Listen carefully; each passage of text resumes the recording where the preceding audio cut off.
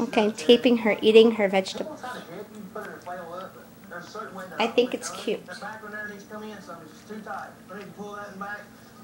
All right, we're ready to go. Christy's mom and dad live next door. So Steven immediately drives the injured penguin over to see if Grandma's surgery Penguin. can save it. Mom. Here we go, Piper. Hey, I got you another one. There we go. I've had to play with I think we've ever displayed, and, and she has brought them things back to life. So she's like a pro at this.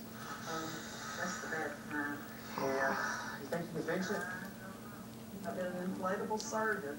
Look at that doll, Olivia. I don't know how to sew. so Eating her mother vegetables.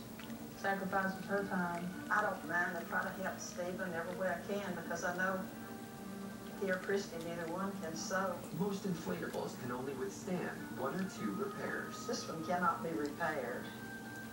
It's right on the seam and it's gonna